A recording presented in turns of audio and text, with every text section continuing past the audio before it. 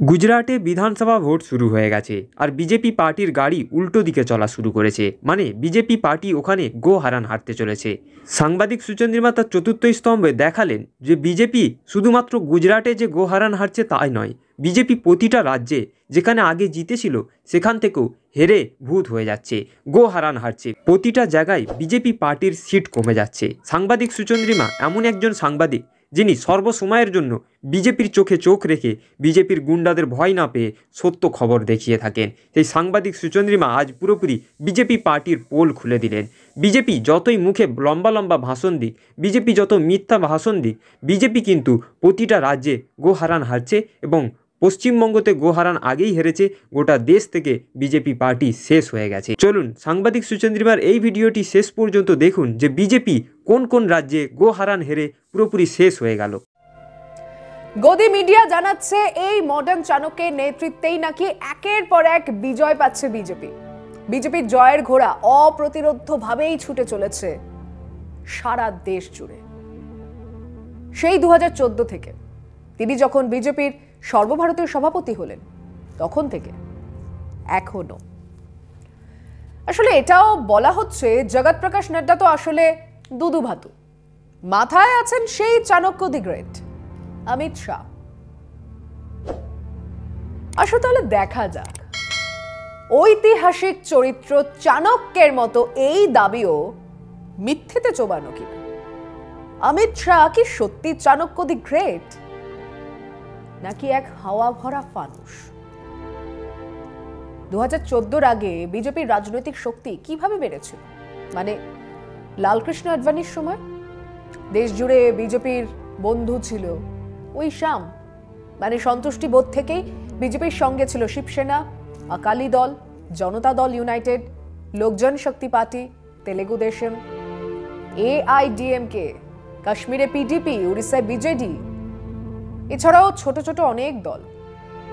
সবাই যে সন্তুষ্টি বোধ থেকেই এসেছিল তেমনও নয়। সম্ভবত দাম। এক্ষেত্রে বড় ভূমিকা নিয়ে থাকতে পারে। কিন্তু বামেরা আলাদা। কংগ্রেস এক ঘরে আর অন্যদিকে বিরাট ঐক্য বিজেপিকে সরকারে আসতে সাহায্য করেছিল।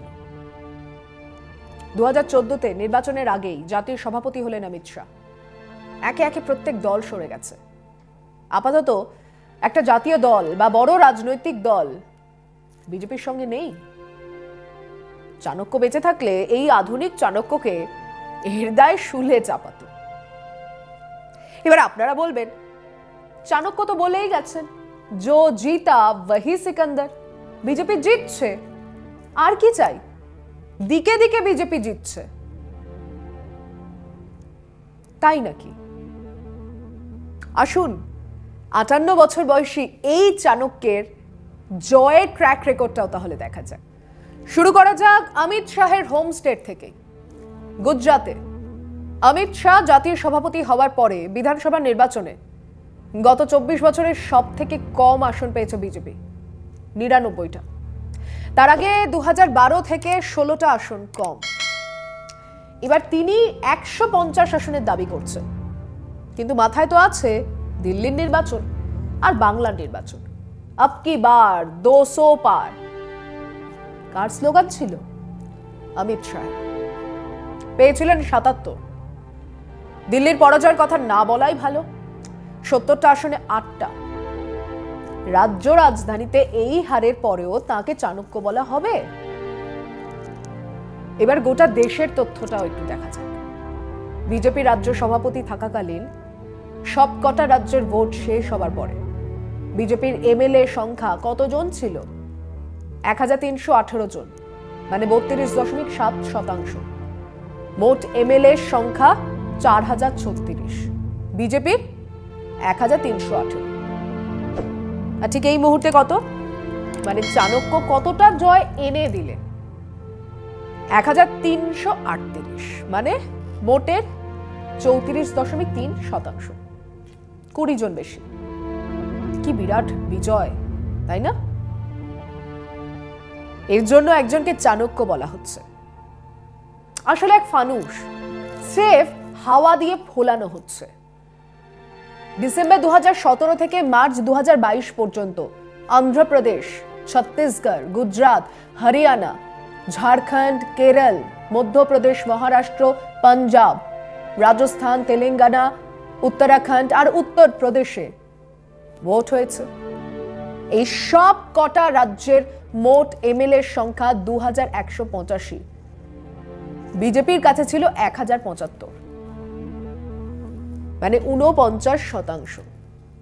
বা ইলেকশন বা রাজ্যের বিধানসভা নির্বাচনের পরে এই সব রাজ্য মিলিয়ে বিজেপির এমএলএ কজন? আটশো দুজন। মানে একশো তিয়াত্তর জন কমেছে। কিন্তু অমিত শাহ নাকি চাণক্য? আসুন তাহলে এবার রাজ্য ধরে ধরে এই হিসেবটা দেখে নেওয়া যাক। ডিসেম্বর দু হাজার সতেরো গুজরাতের নির্বাচনের আগে বিজেপির এমএলএ ছিল একশো পনেরো জন। এখন নিরানব্বই। দল ভাঙিয়ে, পদত্যাগ করিয়ে বাই ইলেকশনের পরেও একশো নয়। দু ডিসেম্বর, রাজস্থানে বিজেপির এমএলএ একশো তেষট্টি। এখন একাত্তর।